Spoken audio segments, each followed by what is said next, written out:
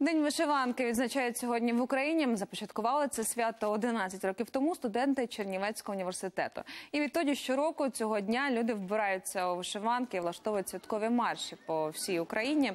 Столичні святкування відбудуться на Софіївській площі. Там між дзвіницями Софіївського та Михайлівського соборів утворять ланцюг єдності. В Одесі пройде фестиваль гаптованого одягу. А львів'яни приготують вишиваний пляцок завдовжки 16 метрів. Крім того, любов до традиційного українського вбрання продемонструють і за межами України. В країнах з чисельною українською діаспори відбудуться паради, фотоконкурси, презентації та концерти.